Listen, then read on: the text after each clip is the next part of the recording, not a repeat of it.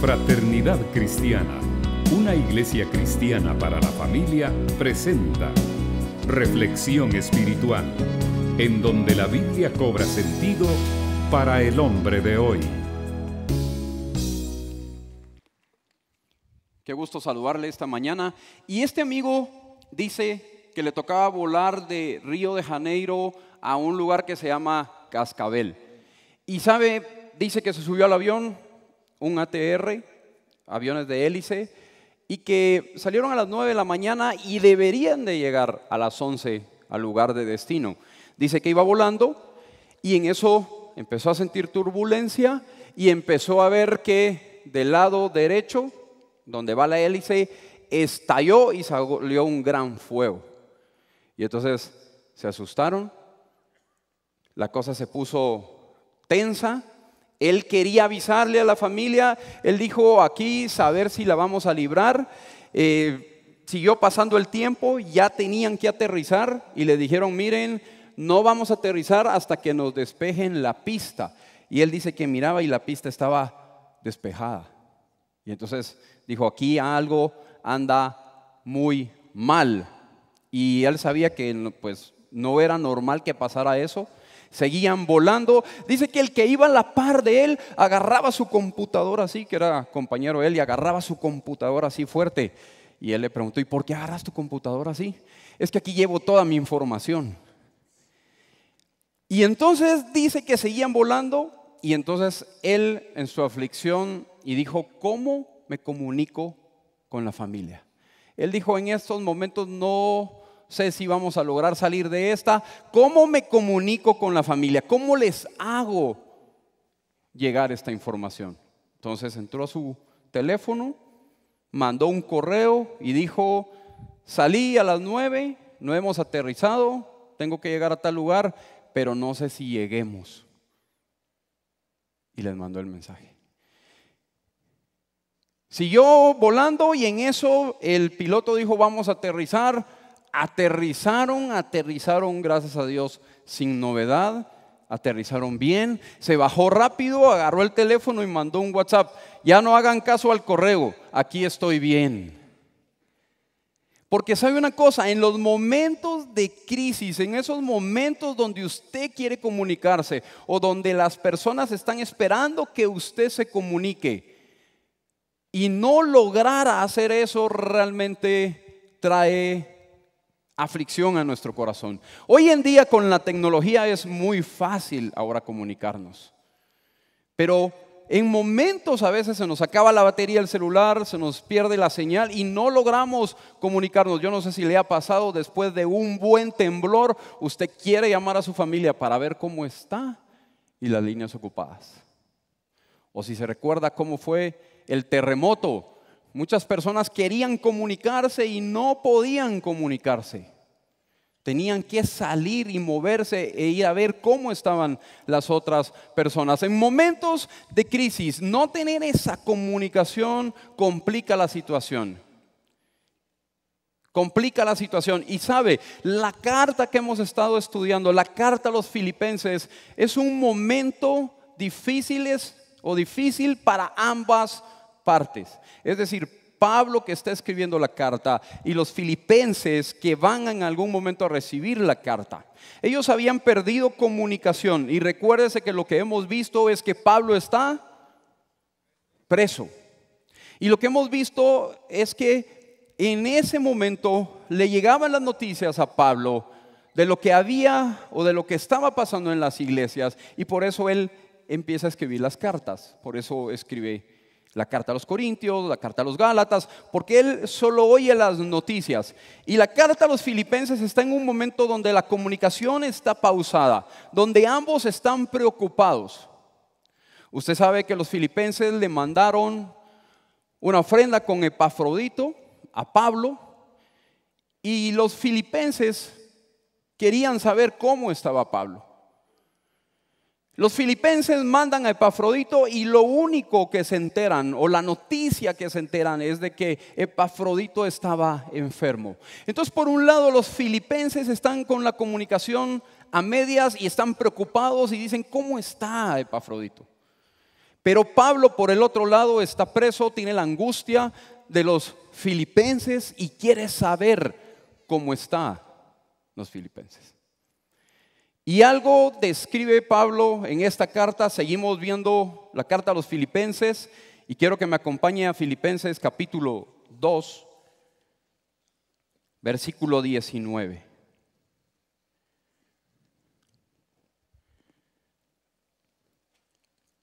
Filipenses capítulo 2, versículo 19. Espero en el Señor Jesús enviarles pronto a Timoteo, para que también yo cobre ánimo al recibir noticias de ustedes. No tengo a nadie más que, como él, se preocupe de veras por, los, por el bienestar de ustedes, pues todos los demás buscan sus propios intereses y no los de Jesucristo. Pero ustedes conocen bien la entereza de carácter de Timoteo, que ha servido conmigo en la obra del Evangelio como un hijo junto a su padre.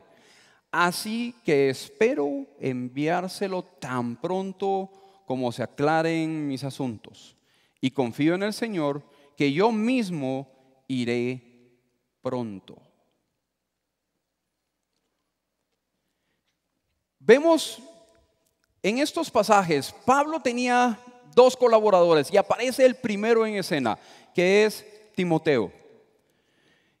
Espero en el Señor Jesucristo enviarles pronto a Timoteo. Y cuando encontramos estas palabras, espero en el Señor, Pablo nos enseña constantemente en sus cartas que Pablo tenía la voluntad de hacer algo, pero siempre sabía que era si Dios quería o si Dios no quería. Él sabía, él tal vez tenía el deseo de enviarles pronto a Timoteo, pero él sabía y confío en el Señor. Eso lo que quiere decir es que si Dios quiere que así sea, así será. Él ponía primero a Dios. Quiero que mires Primera de Corintios capítulo 4, versículo 19. Es otro ejemplo donde Pablo pone primero a Dios. Versículo 18 dice, ahora bien algunos de ustedes han vuelto, se han vuelto presuntuosos, pensando que no iré a verlos. Versículo 19. Lo cierto es que si Dios quiere, iré a visitarlos muy pronto y ya veremos no solo cómo hablan, sino cuánto poder tienen esos presumidos. Si Dios quiere, Pablo cuando dice aquí, espero en el Señor Jesús enviarles pronto, y en esa carta a los Corintios, Pablo lo que está diciendo, que yo quiero esto, pero si Dios quiere. Siempre en nuestras vidas tiene que estar ese si Dios quiere, porque muchas veces nos empecinamos en nuestra voluntad, pero es si Dios quiere. Espero en el Señor Jesús enviarles pronto a Timoteo para que también yo cobre ánimo al recibir noticias de ustedes. Ok, aquí está la parte donde Pablo quería saber cómo estaban los filipenses. Él estaba preocupado por los filipenses. Se recuerda que hemos estudiado en los fines de semana anteriores que había una relación muy estrecha entre Pablo y los filipenses. Mis queridos hermanos, mis amados. Entonces yo quiero enviarles a Timoteo para cobrar ánimo, para saber cómo estaban. Y encontramos cómo describe Pablo a Timoteo. Versículo 20, no tengo a nadie más que como él se preocupe de veras por el bienestar de ustedes, pues todos los demás buscan sus propios intereses, no los de Jesucristo. Pero ustedes conocen bien la entereza de carácter de Timoteo, que ha servido conmigo en la obra del Evangelio como un hijo junto a su padre. Así que espero enviárselo tan pronto como se aclaren mis asuntos. Yo confío en el Señor que yo mismo iré pronto. Ok, Pablo quería enviar a Timoteo hasta que se aclaren mis asuntos. ¿A qué asuntos se está refiriendo Pablo? Es, él está preso, recuérdese, y está con la incertidumbre de que salga libre o de que quede preso, de que muera preso. Y Pablo está diciendo, no importa cuál sea el asunto, media vez se aclaren mis asuntos, podré tal vez irlo a ver si Dios quiere. Había una incertidumbre, Pablo no sabía y él tenía en mente, él estaba consciente de que podía quedar libre como no podía quedar libre. Y describe a Timoteo con tres características. Porque él verdaderamente se preocupa por ustedes. No como los demás que buscan sus propios intereses. Se recuerda que hemos estudiado también que Pablo ahí en un momento dice, es que algunos predican por sus propios intereses y otros predican por amor. Habían algunas firmitas ahí en los filipenses. Y Pablo les dice, ok, él se preocupa verdaderamente por ustedes. Pablo sabe que Timoteo tenía el interés por los demás, no como otros, habían otros que no estaban interesados en los demás. Timoteo sí, porque Timoteo se interesa verdaderamente por ustedes. La segunda característica que Pablo escribe de Timoteo es que tiene una entereza de carácter. Nunca pierda de vista que Timoteo es un joven, es un joven prominente, es un joven que está haciendo las cosas bien, es un joven que Pablo le echa el ojo y dice, este es un buen discípulo. Timoteo era hijo de padre griego y de madre judía. Y Timoteo dice, tiene entereza de carácter. Ustedes saben bien su entereza de carácter. Lo que quería decir Pablo con esto es que ya habían visto cómo se había desenvuelto Timoteo, cómo había hecho ya algunas cosas. Usted se recuerda que luego Pablo le escribe unas cartas a Timoteo, primera y segunda carta a Timoteo, y le dice, ninguno tenga en poco tu juventud. Era un joven que estaba con liderazgo.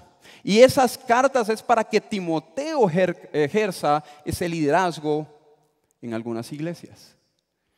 Entereza de carácter. Y la tercera característica que Pablo describe de Timoteo es que ha servido conmigo como un hijo junto a su padre. Y cuando encontramos esa, relación hay que ponerle mucha atención porque usted tiene un hijo y usted le quiere poner a hacer cosas, usted tiene cierta autoridad y hay confianza. Y usted viene y le dice al hijo, me vas a ayudar a poner esto, me vas a ayudar a hacer estas cosas en la casa, me vas a hacer este mandado. Y usted va ahí en ese proceso. Y es un proceso entre el padre y el hijo donde le enseña al hijo cómo hacer las cosas. El sueño de nuestros padres es que ellos puedan llegar a ser independientes, que ellos puedan convertirse en personas que vayan y hagan las cosas. La relación que Pablo tenía con Timoteo era, era una relación estrecha, como un hijo con su padre. Que Pablo le empezó a enseñar cómo debía de evangelizar, cómo debía de discipular, cómo debía de predicar el evangelio.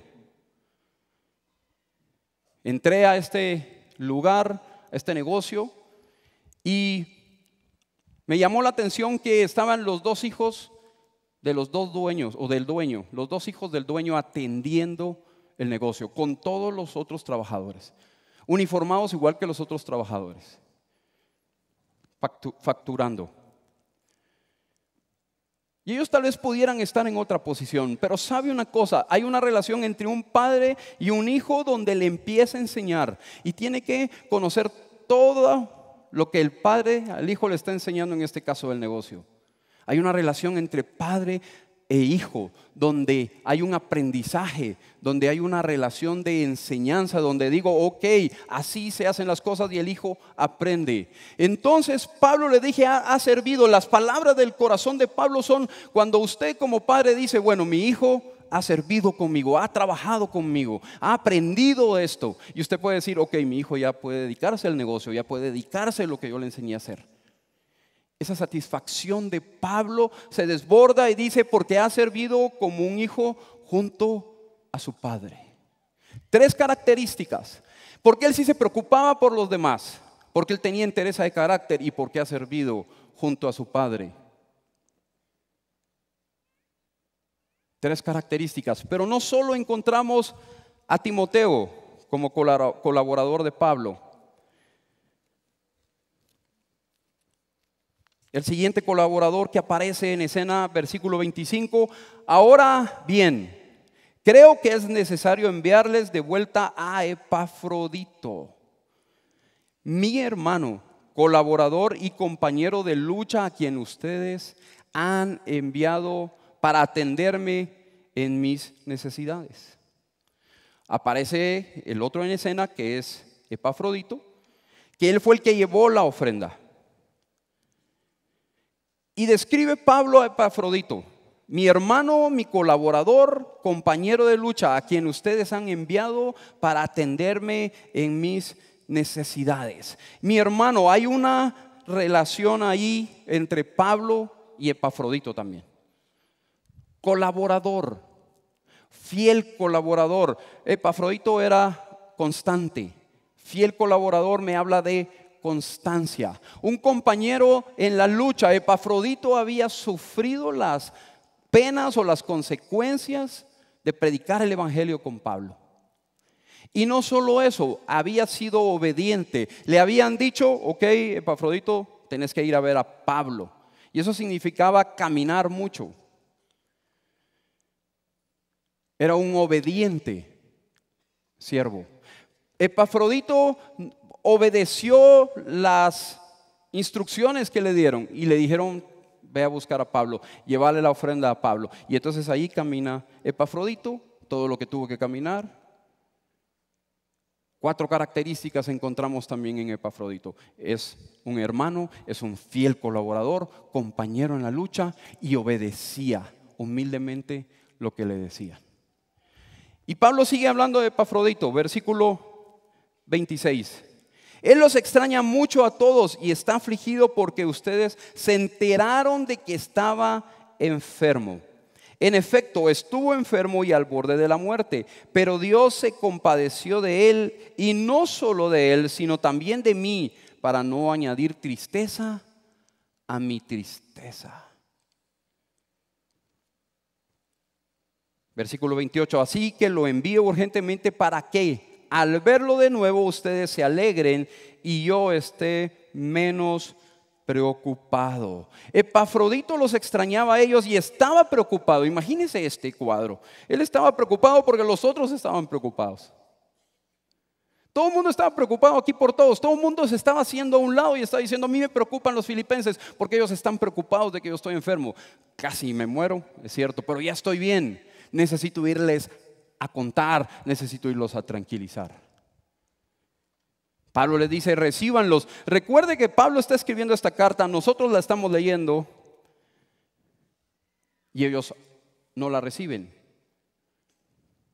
Pablo está pensando, está escribiendo la carta, está pensando en todo lo que les está diciendo y en medio de la carta les dice, ok, todos estamos preocupados por ustedes, quería mandarles a Timoteo, pero me es necesario mandarles primero a Epafrodito.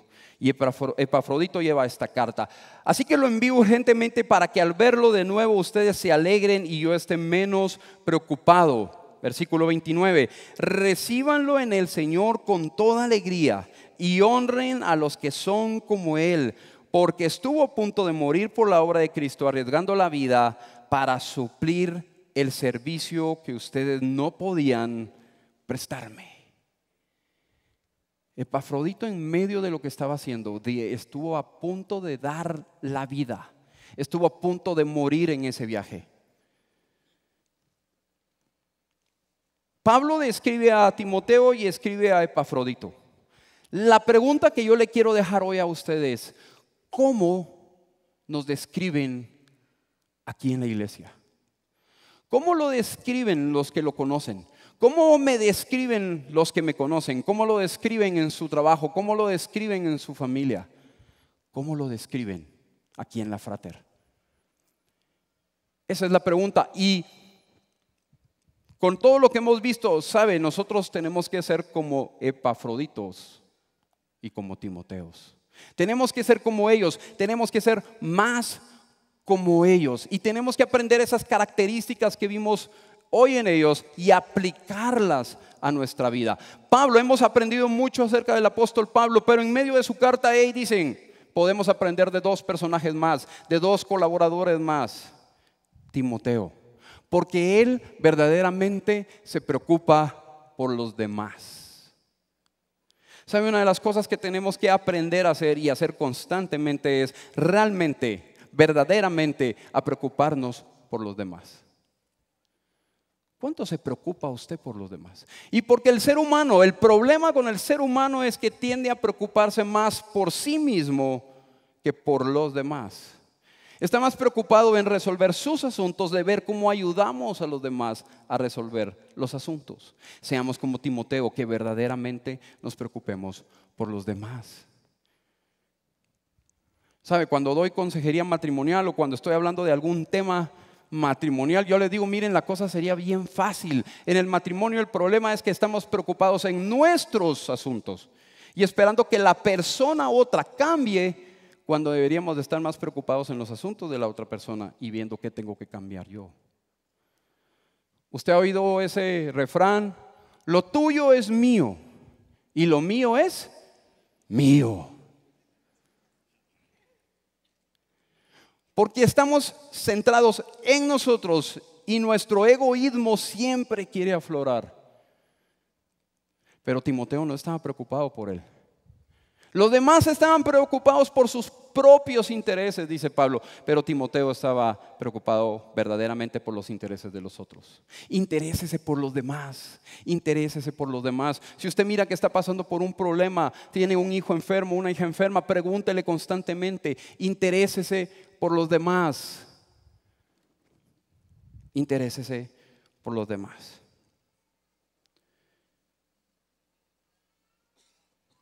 El problema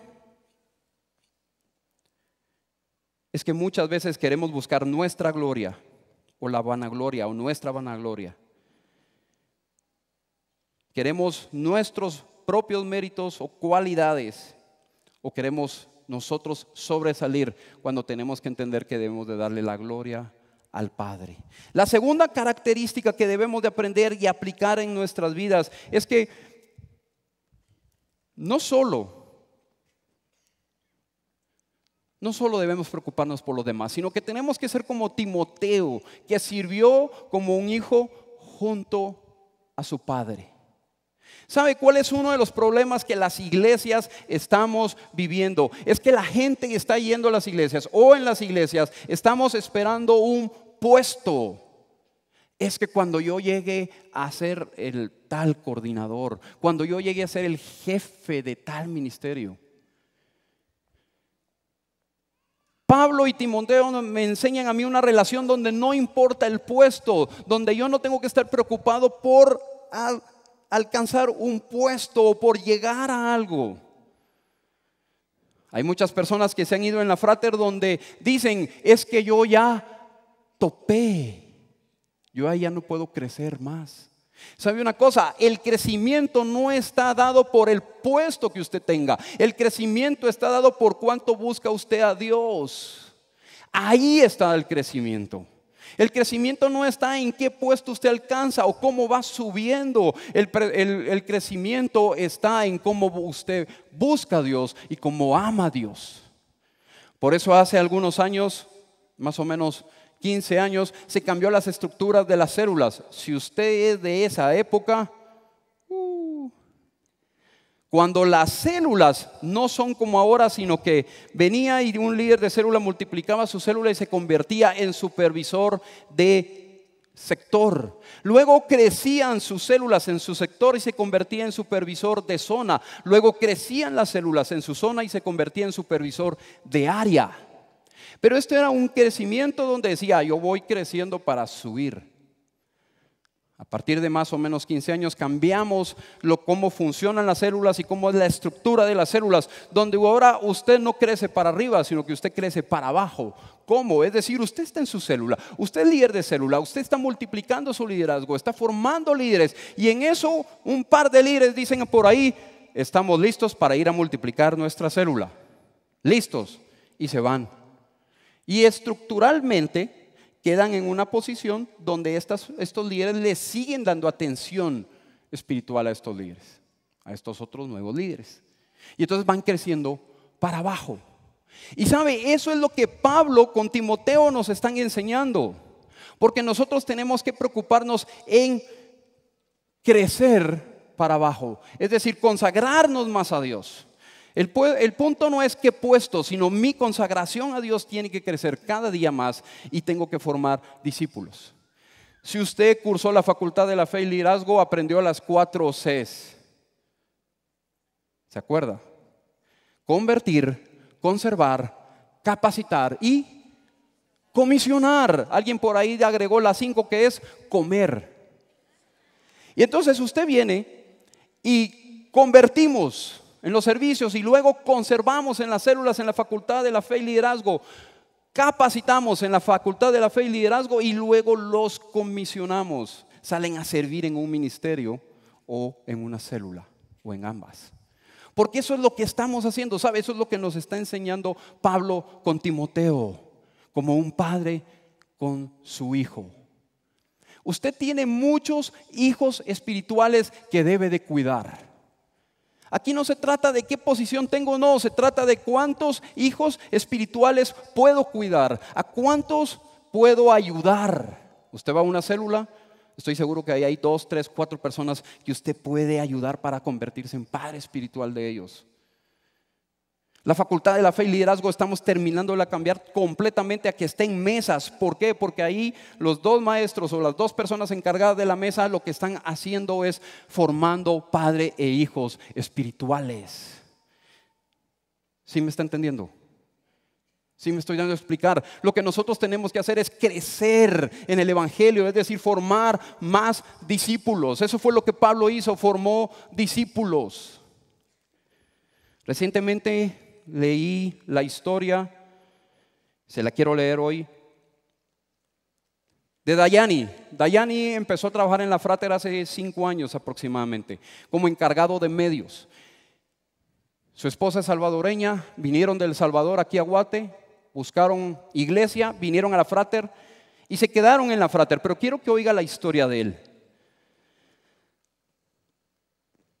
Al poco tiempo de asistir a la Frater, nos quisimos involucrar en una célula y nos involucraron en una cerca de la casa donde vivíamos, de la de Francisco y Mario Julio. Nos quedaba 15 minutos caminando, 5 en carro, pero como no teníamos carro en ese entonces, nos íbamos a pie. En ese entonces solo éramos cuatro en la familia. La bienvenida que nos dieron los Corado, como les decimos en mi casa, fue agradable. Amigos desde un inicio nos hicieron sentir como amigos de toda la vida. Reciben, recién venidos de El Salvador, prácticamente sin conocer a nadie, los corados nos hicieron sentir como familia. A medida que pasaban las semanas, nuestra amistad crecía junto con la de otros miembros de la célula. Ahora ya teníamos a quien saludar en la iglesia. No nos sentíamos solos ni extranjeros, mucho menos desconocidos. Aunque llegábamos caminando a la célula, Paco Corado muchas veces nos llevó de regreso a la casa para que no tuviéramos que caminar.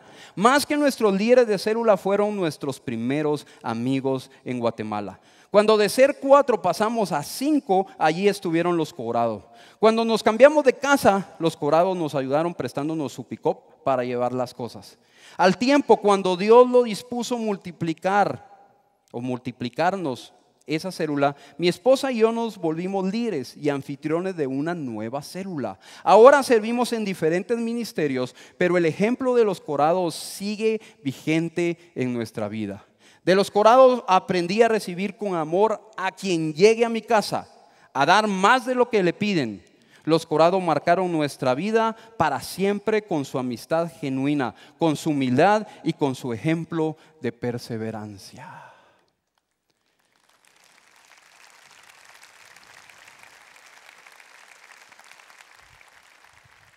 Sabe, yo pudiera pasar horas contándole historias de células, de maestros de la Facultad de la Fe y Liderazgo, de servidores, de voluntarios que han hecho esto, de criar a un hijo espiritual.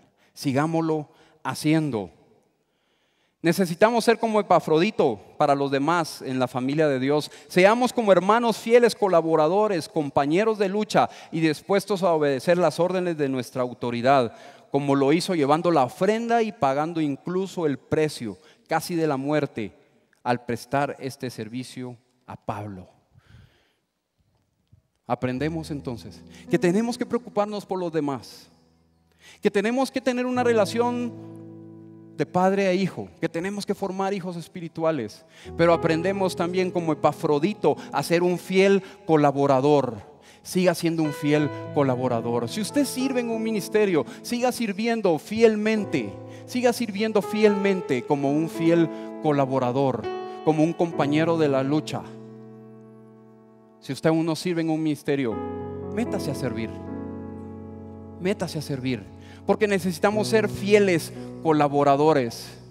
Guatemala necesita que seamos fieles colaboradores. Hay mucha gente allá afuera que está pidiendo a gritos que le presentemos el Evangelio. Sigamos siendo fieles colaboradores. Siga adelante, siga adelante como Epafrodito. Vivió momentos difíciles, hasta casi pierde la muerte, la vida. Casi muere. Seamos como Epafrodito. La gente allá afuera está esperando que les prediquemos a Jesucristo. No nos preocupemos por nosotros. No nos desgastemos por nuestros intereses. Preocupemos por los intereses de los demás. Preocúpese por los demás. Forme hijos espirituales. Dedíquese a hijos espirituales. Piense en dos, tres, cuatro personas. Tal vez usted era apasionado con esto, pero ha perdido la pasión. Hoy pídale a Dios que retome esa pasión en su corazón. Preocúpese por tres, cuatro, cinco, seis personas. Y sea un fiel colaborador, fiel en la lucha, compañero de lucha, porque hay mucho por hacer. Yo le voy a invitar a que se ponga de pie. Señor, hoy estamos delante de ti. Ayúdanos a ver esa necesidad en los demás. Señor, Señor, hoy nos negamos a nosotros. Dígale, Dios, aquí está mi vida para negarme. Yo no quiero preocuparme por mis intereses, yo quiero preocuparme por los demás. Señor, hoy te pedimos que seamos una iglesia que se preocupe por los demás, que podamos hacer morir nuestra naturaleza pecaminosa, nuestro egocentrismo, nuestro orgullo y que podamos preocuparnos por los demás, pensar cómo están viviendo los demás ayudar a los demás. Señor, que podamos ser como Timoteo, como Epafrodito. Señor, que podamos ser esos padres espirituales para muchos hijos. Señor, yo te pido que ayudes a cada uno de los que están aquí para que ellos puedan predicar el Evangelio y puedan formar a otros y puedan ayudarlos para que otros puedan acercarse a ti que muchas historias se cuenten de cada uno de los miembros de aquí de la Frater, que se preocuparon por ellos, que los ayudaron, que los llevaron a una célula, que los trajeron aquí a la Frater, que en los momentos difíciles estuvieron con ellos, que en los momentos donde ellos ya querían abandonar, estos miembros de la Frater estuvieron con ellos. Te lo pedimos, Señor, y que podamos ser fieles colaboradores, que podamos ser compañeros de lucha, que en medio de las situaciones que podamos vivir o en medio del mundo, nosotros podamos ser fieles colaboradores a ti, Dios, en el nombre de Jesús. Gracias, Señor. Gracias. Quiero que siga con sus ojos cerrados.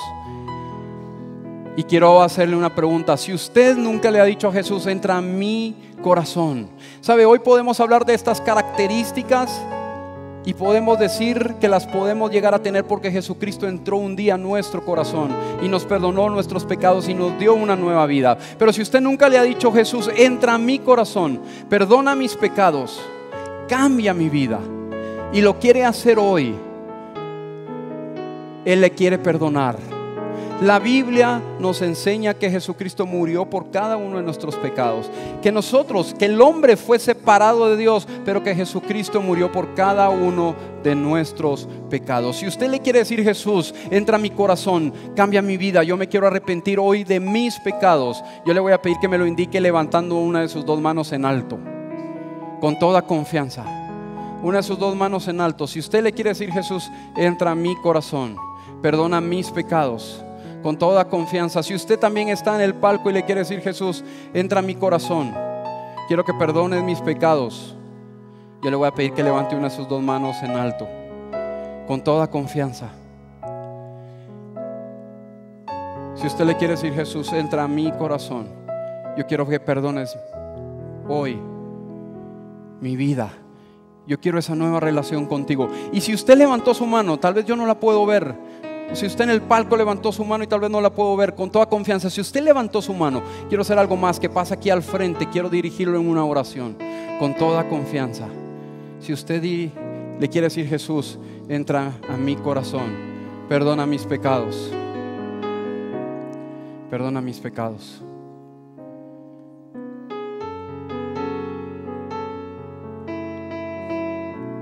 quiero dejar pasar este tiempo, quiero dejar algunos segundos más. Si usted está ahí en su lugar y le quiere decir Jesús, entra en mi corazón.